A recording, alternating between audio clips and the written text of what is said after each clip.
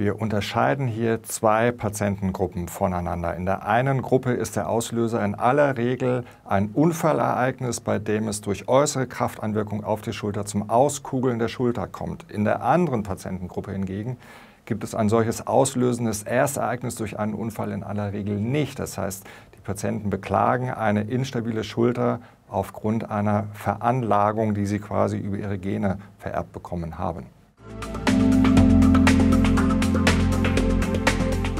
In der Gruppe der Patienten, bei denen äh, das Ereignis durch einen Unfall ausgelöst wird, ist dieses in aller Regel sehr offenkundig, weil das Auskugeln zu einem schlagartigen, stärksten Schmerz in der Schulter führt und der Arm entsprechend auch überhaupt gar nicht mehr bewegt werden kann.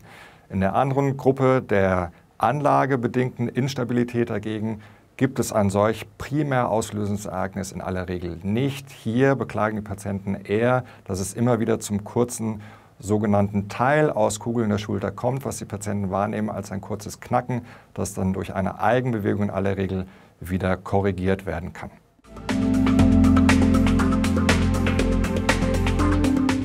In der Gruppe der unfallbedingten Instabilität des Schultergelenkes ist in aller Regel eine Korrektur der durch den Unfall im Gelenk hinterlassenen Schäden erforderlich. Das heißt, die vom Knochen in aller Regel abgelöste Gelenklippe muss wieder im Rahmen einer Schultergelenkarthroskopie befestigt werden.